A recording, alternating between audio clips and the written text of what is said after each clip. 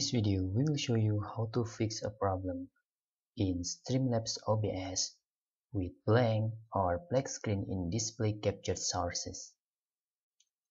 First, you can close your Streamlabs OBS software and this is using two methods.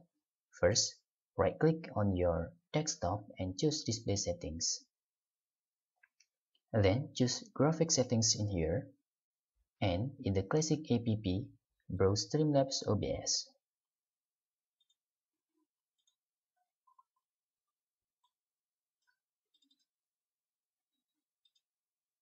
Add in here. And then you can choose options.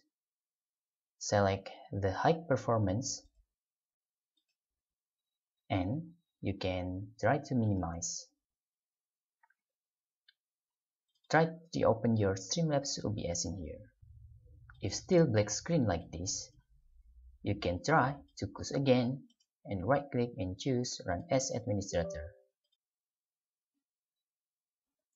If still black screen like this, you can just close and then in your graphic settings, select options, the power savings and click save.